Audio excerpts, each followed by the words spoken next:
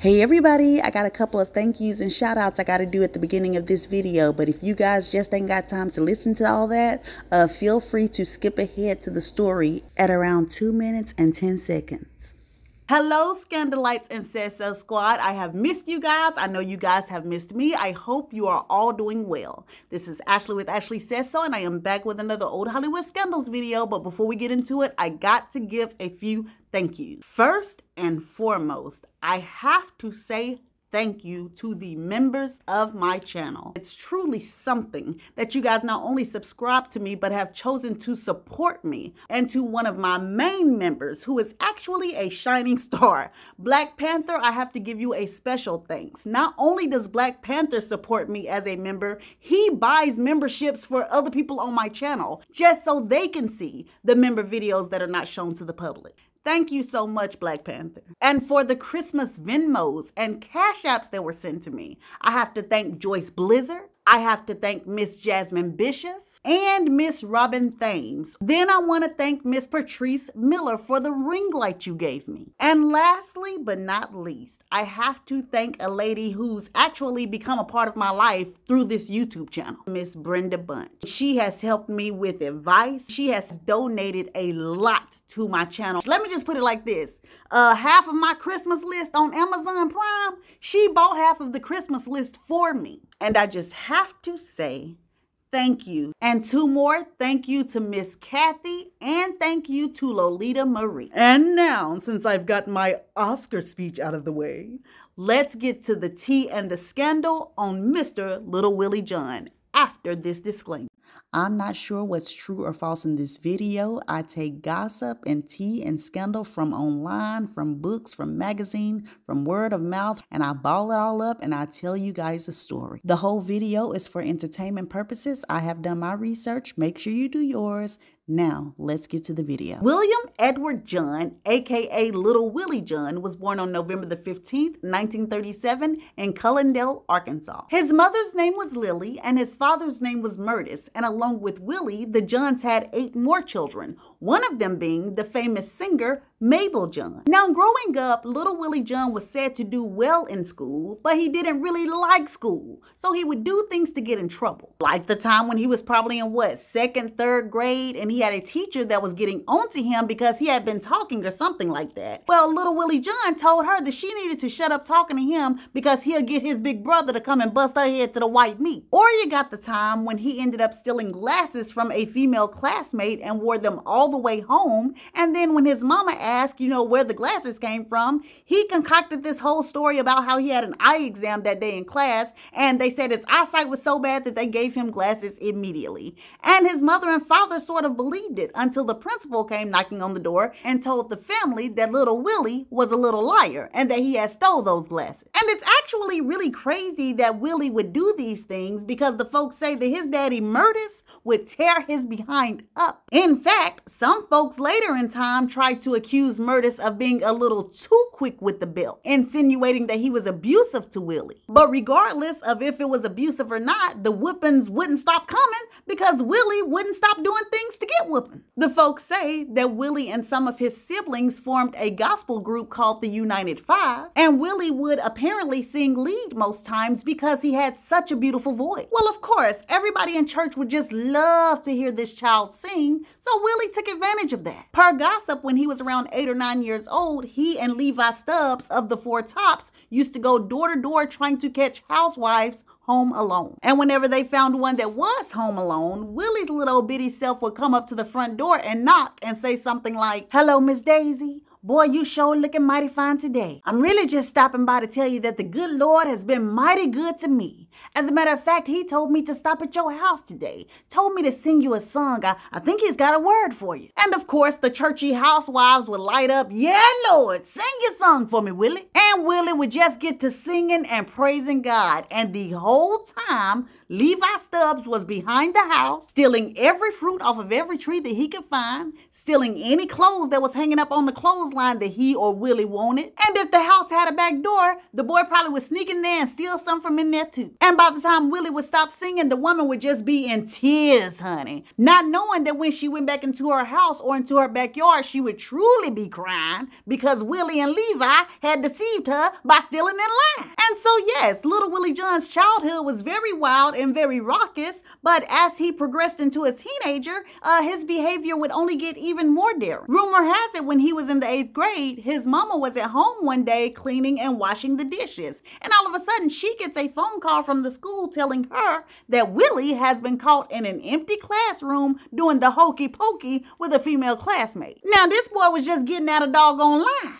And this was one step too far for the school that he was in. So, honey, they kicked him out of the regular school and he had to end up going to like an A school or a school set aside for a troubled kid. Now, to get to his music career, Little Willie John was born with talent, and the voice that he possessed was not easy to come by, not then and not today, most definitely. And like I've already told you, his mama and daddy already had him singing in church, but for Willie, this wasn't enough. Girls wasn't really going for no goody two uh, church boys like that, especially if there were some uh, bad boys around or worldly boy. And that's the kind of music he wanted to sing, secular music. So around 13 to 14 years old, Willie started to sneak out at night and go and perform at local talent shows. And every time he would blow the audience away. And soon word of his talent show performances had gotten around, and at least two talent scouts were on the lookout for him. One was a man named Johnny Otis, and the other one was a man named Harry Balk. Now, Johnny Otis was rumored to be this close to working with Willie, but once he really saw little Willie John, he thought that he was too young. You know, he didn't really think that this child should go on a tour with these adult musicians, especially with the record company he was working with, which was King Records.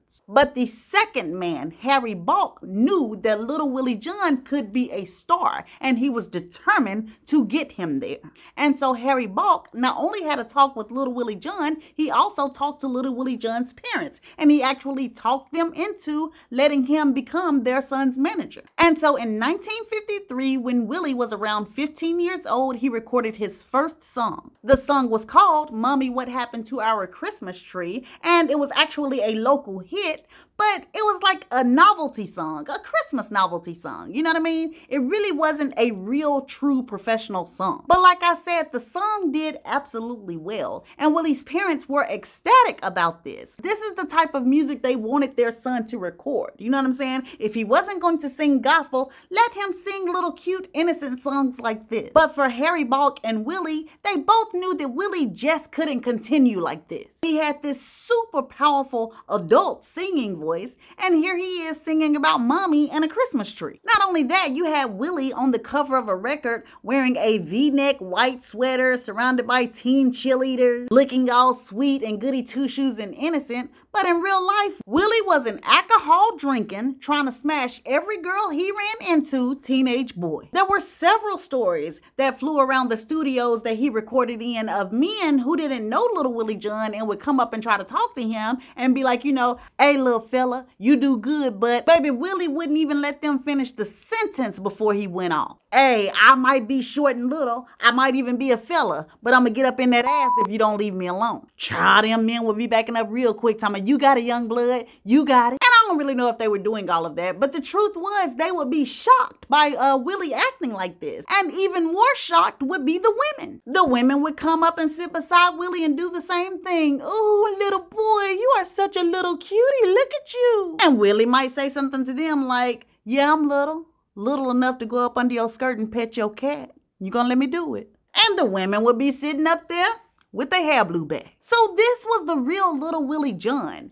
and him and the people around him felt like he should be making music that was more to the kind of person that he was. So soon the manager Harry Balk just kind of paused on Willie recording any music altogether. And instead he sent him on tour with band leader Paul Williams and his band. And so little Willie John toured with uh, Paul Williams for maybe a year before the band leader got tired of catching uh, little Willie John gambling, catching him at after night bars, rubbing up women's thighs, and drinking smoking, and so he fired Little Willie John. But the firing was a blessing in disguise because, see, now Little Willie John was a free hire. He also was around 17, 18 years old, and his personality was more known. And Johnny Otis came back around because now he figured, hey, this little boy ain't no doggone kid. He definitely can rock and roll with the people at uh, King Records on tour. And as soon as Little Willie John signed to King Records, oh baby, he was off. And he did what a lot of people could never do. And that was having a hit with his first uh, released record. It was a song called All Around the World. He also came out with another hit, which was called Need Your Love So Bad. These songs came out in 1955, but it was that next year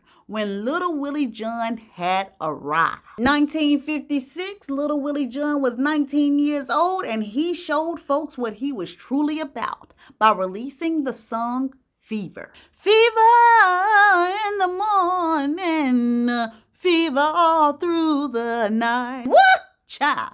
Talk about a heck of a song. It is in the top comment. Go click the link and go listen to how soulful and powerful that this young boy sang the song. So, anyways, Fever propels Little Willie John to stardom. He is not what you would call a superstar just yet, but he is definitely on his way. And so, since we have gotten to his launch pad of fame, it is time to get to the scandal, child the scandal. Let's get to it. Now, let me tell y'all right now, Johnny Otis might have now felt comfortable bringing Little Willie John on the tour with the adult acts, but he should have thought if the adult acts would feel comfortable on tour with Little Willie John. Child, folks said that Little Willie John would be throwing water on people, he would run past people and slap them in the back of the neck, and don't let you be a woman. Honey said a woman would walk in all dressed and styling and profiling, thinking she doing something. This crazy boy would wait until the woman got in front of a crowd of people people. Then he would sneak up behind her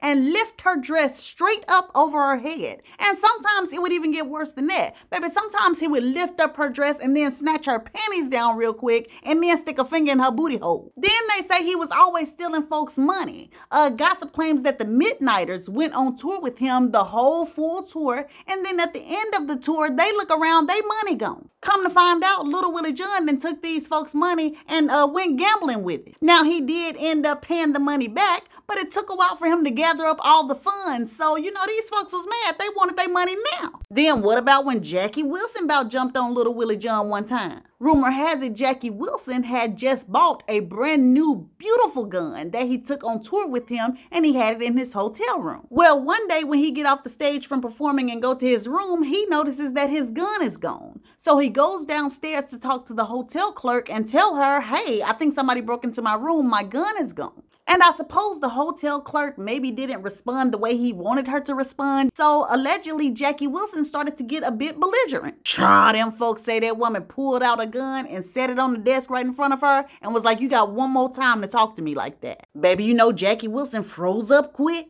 But he didn't freeze because he was scared of the gun. He froze because the gun was his gun. Come to find out, little Willie John had took the gun and had sold it to the hotel clerk after persuading her that she may need some protection because one day she might have a ranting and raving customer or one day somebody might rob her. Etta James had a lot of stories to tell about little Willie John because she was on tour with little Willie John a lot. As a matter of fact, she and little Willie John were the youngest on the tour. They were around the same age. So she said they used to cut up a lot. They used to drink, smoke, shoot spitballs and have spitballs stuck to folks neck when they was performing and spitballs all in the women's hair. Used to run up and down hotel hallways, just do a lot of antics. But uh, rumor has it that sometimes Etta James would feel like little Willie John would take things too far. She said he had this habit of going inside the club or bar where he was supposed to perform and getting cool with some of the local guys.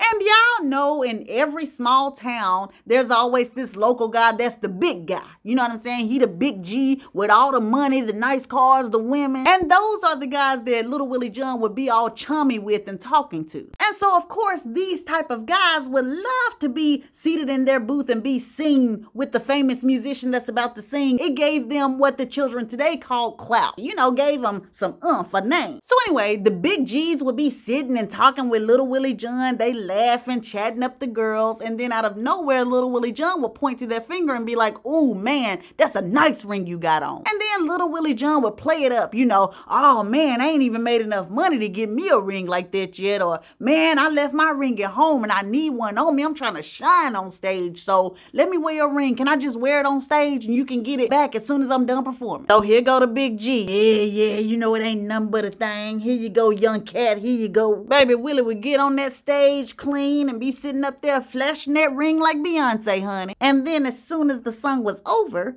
this boy would run off the stage and disappear from the whole club and then go hide in the tour bus. And then as soon as all of the other acts got on the tour bus, he'd sit up talking some go, go, drive, drive. And then he would just uh, drop off having stolen whoever ring he had. Well, one day his behind got caught trying to leave with somebody's ring and the big G in this town pulled out a gun on him. But thankfully, instead of shooting little Willie John, he just slapped him in the back of his slicked up head and told him, boy, don't you ever play with me like that again.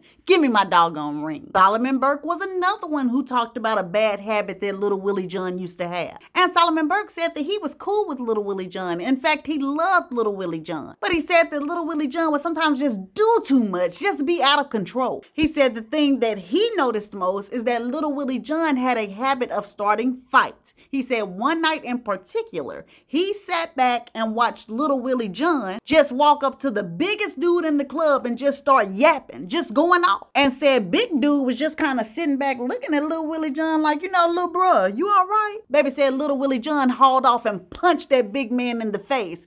Instantly, the big man started trying to jump on him. Well, of course, all of the acts on the tour and the people signed with King Records are not just finna sit back and watch the littlest person on their tour just get beat up by some big guy. So all of the other music acts start trying to come in and fight the dude, and then the dude's homeboys start fighting, and it just became a big, huge brawl in the club. And while everybody is fighting and throwing hands, little Willie John runs over to the other side of the club and starts standing and talking to Solomon Burke, talking about, man, would you just look at that? Everybody fighting. What happened, Saul? And Solomon Burke sitting back like, now I know you ain't asking me what started this fight. I saw you over there messing with that man. You didn't see yourself starting this fight? Baby, why come Willie told that boy, nah, I didn't see it. I got the worst view in the house. Just foolish, child.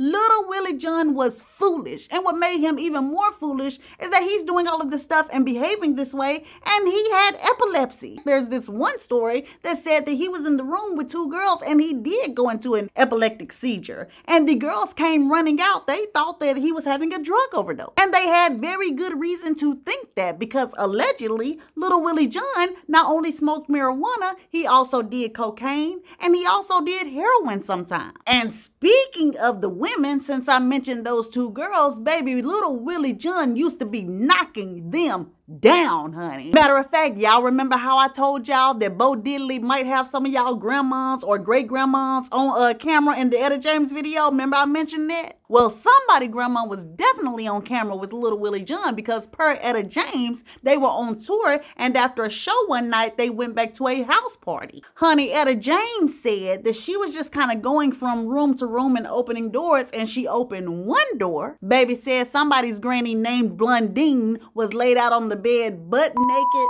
with her legs just spread open. And Willie was laid down by her TT using his fingers to point out the lips and the clitoritis to the camera that Bo Diddley was standing in the room holding. Honey, that stuff them folks was doing on their tour road back then, baby, it got wild. And I'm telling y'all, some folks' grandmas is definitely busting it wide open on these doggone cameras from back then. Oh, and before we move on, for all of you smart Alex in the uh, comments, I know clitoritis ain't no doggone word. I have to mask my words because if not, the upper room of YouTube will come down on me. So back to the women, little Willie John had his pick, baby. It was when the women didn't pick him where things got strange. Rumor has it that the drummer for the group The Upsetters, a man by the name of Charles Connor, had found out a girl at the concert or what or the show was interested in him and he was talking to her backstage. And uh, little Willie John just keeps walking back and forth down the hallway. You know what I'm saying? He just coming out acting like he forgot stuff, just all in the way. Then he'll start saying little stuff, you know, Charles, I hope you've been warming up on your drum because we really got to bring the show to these folks.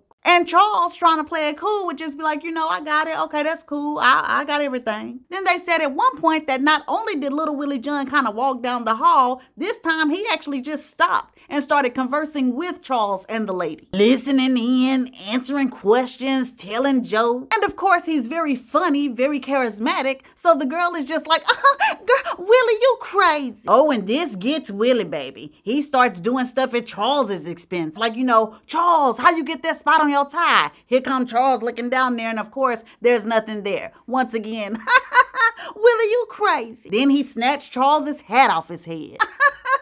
Willie, you crazy. Baby, then the folks say that little Willie John did something like kick Charles in the shin or something like that. Vote with me one more time. You through. Baby, Charles had enough. Charles was like, you want to embarrass me? I'm finna embarrass you. Child, the folks say that he lifted little Willie John up by the back of the neck like this and had him and he was digging his thumbs and his fingers all into the uh, back of little Willie John's neck. Then after he dug in the skin and lifted him high enough, he ended up dropping little Willie John on the floor. And this time wasn't no Willie, you crazy. Now was, ooh, Willie, is your neck okay? Baby, Willie skedaddled on out of there. You know he was shamed. And allegedly, he would do things like that sometimes. You know, act like he joking and playing, but really kind of hating. You know what I'm saying? I think he just wasn't used to a girl choosing somebody over him. And sometimes Willie wanted the TT or the girl so bad, baby, he was ready to risk it all. The folks say him and singer Marv Johnson ended up on a tour and they ended up liking the same girl.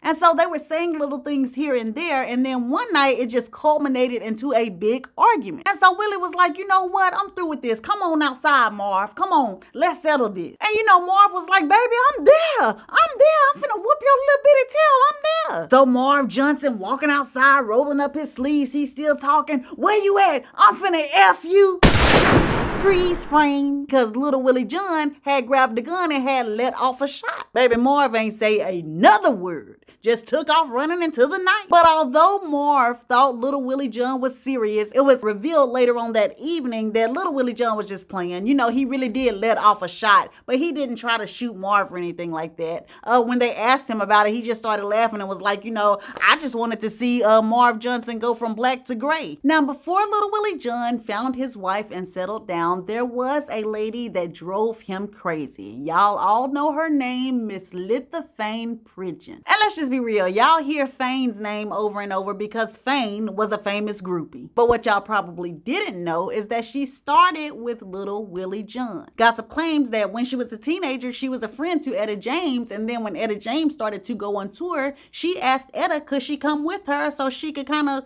freak on some of the guys in the band. Let's just be real. That's what it was. Well, as soon as Lithofayne got on the tour bus, she was smitten with little Willie John as was he with her. They spent all of their time together, and allegedly, Lithofayne's first son was by Little Willie John. That's what Etta James said. But Little Willie John's uh, family has yet to acknowledge this rumor. Like, I don't even think they mentioned it, but let's move on. What I do know is that Little Willie John meant so much to Lithofayne is that she basically talked about him all the way through her life. As a matter of fact, maybe five, six, seven years after she had stopped talking to Little Willie John, she had met back up with him, and by this time, she was dating Jimi Hendrix. Honey, how about Jimi Hendrix was so jealous? He wouldn't even shake little Willie John's hand, baby. But little Willie John ain't care. And he didn't care because by that time, little Willie John was with the real love of his life. A young, pretty, quiet lady named Darlene. Oh my gosh, they say that little Willie John just had stars in his eyes as soon as he saw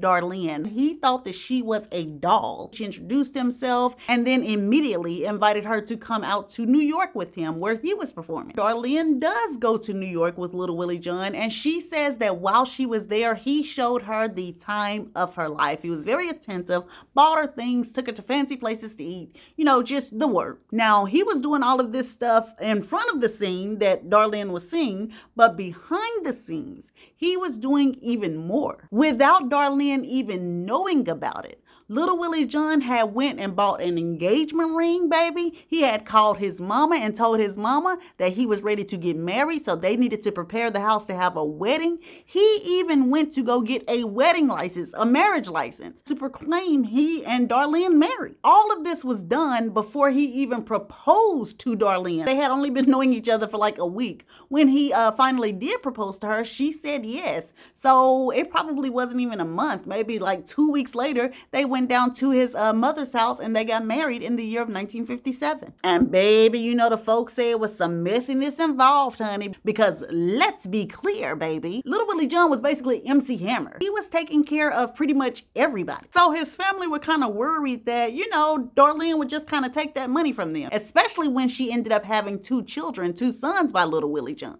Well, the family had no reason to worry about Darlene, but they did have a reason to worry because by the time 1961, 1962 came around, some of the money started to kind of slow up for Little Willie John. It was like he was putting out music, but he wasn't getting the hits like he used to. And I only talked to you guys about Fever, but he had a few more hits. But by the time 61, 62, 63 came around, he was not making hits like that anymore. And he started to not be a priority for his record label. And then his gigs weren't that good anymore. He was basically turning into a has-been. And this has-been that he was turning into was only around 23 years old. And if you're asking, yes, little Willie John had made a lot of money in those previous four to five years, but he had expensive taste, baby. He always had tailored silk suits. Baby, he has taken everybody out for steak dinners. You know, he's gambled the money away. He's went shopping. He was very reckless with his money, but again, he was very young. So if that money dried up, what the heck was he going to do for the rest of his life? He had a family to take care of, a lot of people. And so he started to get depressed and he started to get destructive. Gossip claims that he started to be late for gigs if he showed up for a gig at all. He much rather spend his time on the corner drinking and smoking. He also started getting a little bit more involved with those drugs I mentioned earlier. And he started to cheat on his wife with loose women and hang out with a bunch of men who really didn't have his best interest at heart. Because Little Willie John's life started kind of going off the rails, um, he also started getting into trouble. In the year 1962 or 1963, he ended up racking up a whole bunch of charges on a phony credit card. And the law caught up with him, and I think they were charging him with fraud or something like that. Well, in 1964, he ended up getting in trouble again, this time for playing a small gig at a, a, small club, and the owner refused to pay Little Willie John. Well, Little Willie John grabbed a bottle and bust the owner upside the back of the head. This happened in Florida, where Little Willie John was living at the time, and so the police picked him up and he was charged with assault. However, he quickly paid bail, and then he quickly jumped bail by fleeing Florida and never returning. After this whole ordeal where he bust the club owner upside the head, he ended up going to a fancy restaurant, and I guess he loved steaks because he ended up ordering a steak. And baby, when he found out that that steak wasn't cooked right, child, he went to the kitchen and bust the chef upside the head. And truly, from 1964 and beyond, things just continued to go downhill. And then in October of 1964, Little Willie John had another gig in a little bitty uh, rundown place called the Magic Inn, and he went on stage and he put on a great show. And then at 1.30 in the morning, he ended up walking off stage and he talked for a while with his valet, a man by the name of Eddie Moore. And um, he ended up picking up two females, for him and one for Eddie Moore. Those females' names were Sylvia Banks and the other girl's name was Kay Morgan. So Eddie, Willie, Sylvia, and Kay ended up leaving the Magic Inn, and Willie decided that he wanted to go to an after-hour spot. You know, he wanted to go dance and drink some more before he took the girls back to the hotel room. And so they went to an illegal type of juke joint thing that was actually in somebody's house. So it was more like a house party, but at this place they were serving liquor, all that good stuff. Well, when the foursome get in there, they are all talking and drinking and sitting at the bar car. And soon this guy by the name of Kendall Roundtree comes up and starts talking to little Willie John. Well, Kendall Roundtree was like an eight-time felon. He also was like six three, six four, over 200 pounds, you know. And little Willie John didn't know this guy, but you know, cool. This guy want to come up and talk and drink with him. He's all for it. Well, I guess Kendall Roundtree wanted for little Willie John to bed him that night instead of little Willie John bedding Sylvia Banks because uh Sylvia in ends up getting up and saying, you know, I gotta go to the little girl's bathroom, and she walks off. As soon as she does, Kendall Roundtree, he sits in Sylvia's seat. Well, Sylvia ends up coming back from the bathroom and she's just kind of standing there waiting for Kendall to stop talking to little Willie John so he can get up and get out of her seat. Well, Kendall Roundtree has ended the conversation with little Willie John and he sees Sylvia right there waiting for the seat, but he just look and then just keep on drinking like he don't see her right there. So little Willie John is like, uh, hey man, can you get up and let her have her seat back? Man, F that B. I ain't giving no seat back. And as soon as this is said by Kendall Roundtree, Little Willie John's temper goes straight up. And so Little Willie John is like, hey, brother, F you. You ain't got to act like that. And you ain't finna be talking to my lady like that. You ain't finna be calling her all these names. Kendall Roundtree reaches back and boom, bloodies Little Willie John's mouth. Also knocks Little Willie John uh, off the bench. And before Little Willie John could kind of get himself together, you know, he's dazed. Kendall Roundtree is up, ready to fight this little bitty man. So a lot of people that were at the party start to kind of hold Kendall Roundtree back. You know, they're holding both of his arms, so he getting held back, but he's trying to break loose and fight. Well, while he's getting held back, little Willie John finally does get up off the floor. And so he goes and runs into the kitchen of the house and he grabs a small steak knife. He comes running towards Kendall Roundtree, who is still being held back like this. And little Willie John is like, and that is where he stabs Kendall Roundtree in the chest. But it happens so fast. It's like boom, boom. In fact, it was so fast that the people who were holding Kendall Roundtree up and other people at the party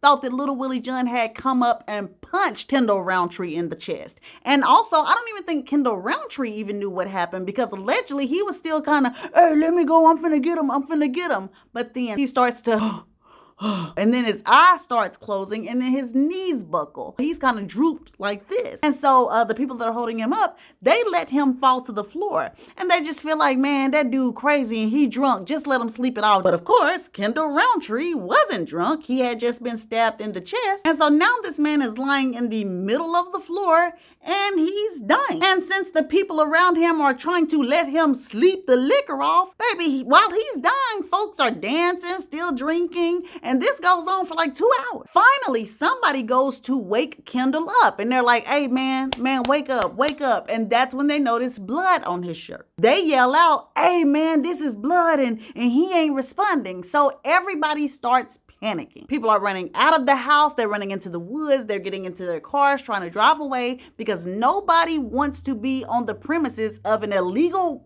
house party club uh, when the police comes and finds possibly a dead body on the floor. But little Willie John is still there, and he's had somebody at the party take the steak knife and go dump it in the backyard of the house. So the officers get there, they're questioning everybody, and they come to little Willie John and they're like, you know, so y'all had a fight? And little Willie John says, yes, we did fight, but he hit me and I started having a seizure, and I, I don't remember nothing after that. Well, as soon as little Willie John was out of earshot, his valet Eddie Moore calls the police back over and he tells the police that he saw little Willie John stab Kendall Roundtree. Sylvia Banks was another one. She told the police that she also saw little Willie John stab Kendall Roundtree. And that is absolutely funny because the whole reason the fight happened was to protect her honor. Well, little Willie John ends up getting arrested and he is charged with second degree murder, but then the charges drop to manslaughter. There were several people called to the stand and multiple people said that they didn't see little Willie John stab anybody. In fact, some people testified that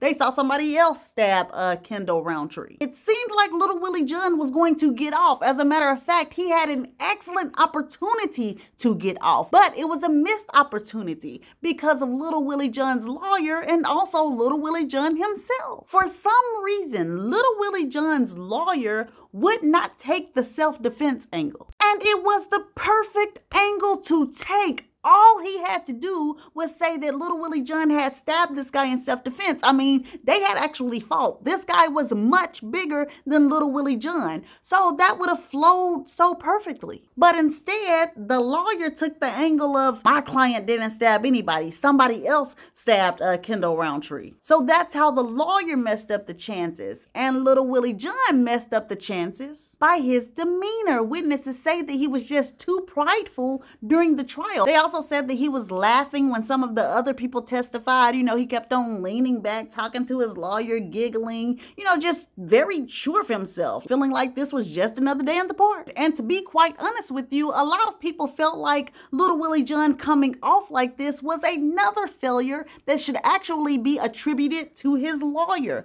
because it was clear that his lawyer had not coached him on how to be. Basically, anybody and everybody from back then and today knew all he needed to do was get up there on that stand with his eyes full of tears, crying, You know, I'm sorry. I'll do anything to bring him back, but y'all gotta understand, I had to save my life. If he would have gotten on the stand and done that, the jury would have bought it hook, line, and sinker. Even the prosecutor that was prosecuting him said later on that he would have walked little Willie John out of the courthouse himself as a free man if he would have got up there on that stand with a different persona. But he didn't. He was just too matter of fact, too prideful, too sure, and so they declared him guilty. And even after the guilty verdict, little Willie John was still too sure of himself. He immediately posted a $20,000 bond that he did not have. He had to borrow from other people. And then he left Washington where the trial and everything had taken place. He left Washington and took off flying to New York to the Apollo. Ain't asked for the court's permission, ain't asked for the lawyer's permission, just then took off, basically looking like he had jumped bail again, and this time for manslaughter. And then when his lawyer tried to tell little Willie John, hey, you need to come back, come back now, first of all, so it won't look like you jumped your bail, but also you need to come back so we can set up an appeal. Little Willie John wouldn't come back, and then he started to ignore his lawyer. Gossip claims the lawyer was uh, writing letters, he was calling, no response at all. As a matter of fact, when he finally did get a response letter, letter, which took forever,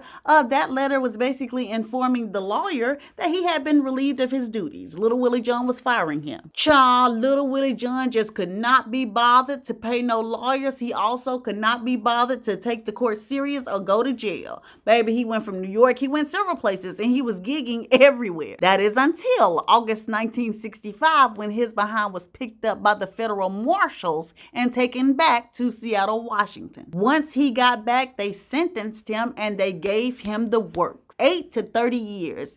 This man got 8 to 30 years where he probably wouldn't even gotten jail time had he not kind of skipped out on his bail and had he uh, done the appeal process. But like I said, little Willie John ruined all this and he starts his prison stint at the uh, Washington State Penitentiary. The whole black music world is saddened by this revelation, but none more than James Brown. And uh, James Brown was even more saddened when after like a year or two, he went to the prison to visit little Willie John and allegedly little Willie John son was kind of rolled in in a wheelchair. You know, he was skinny, he was sickly, he wasn't feeling good. They had shaved his head. And so James got angry and he told Willie John, Willie, look what they doing to you in here.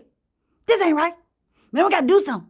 We gotta do something. This ain't right. This make me sad. And little Willie John told James Brown, you know, don't worry about it. Don't be sad. You know, I'm a man and I'm gonna handle my uh, prison sentence like a man and I'll be out of here soon. Don't worry about it. But he wouldn't be out of there soon and gossip on the streets say it was due to that temper that he had, that attitude, that quick to anger that he had. And then on May the 26th, 1968, he was found dead in his cell of a heart attack at the age of 30. Well, the records say it was a heart attack. Allegedly, the heart attack was brought on by a terrible bout of pneumonia. But the streets say, um, allegedly he had got into it with somebody and one of those prisoners ended up beating him to death. And I, of course, was not there, so I don't know. I don't know. All I can do is think and speculate. What do you guys think? Or better yet, what do you guys know? Put them in the comments. What I do know is this is yet another sad but very scandalous tale. And sometimes history tries to forget little Willie John, but you can't forget a voice like that. You know what I'm saying? And then also, I've seen some interviews that his sons have done, you know, and he shouldn't be forgotten. Little Willie John should not be forgotten. But anyways, guys, uh, this is the end of the old Hollywood scandalous tale of Mr. Little Willie John. If you like this video, like the video, please, y'all. I need y'all's likes and subscribe, baby just subscribe. I love y'all. I will see y'all soon with another video. Bye.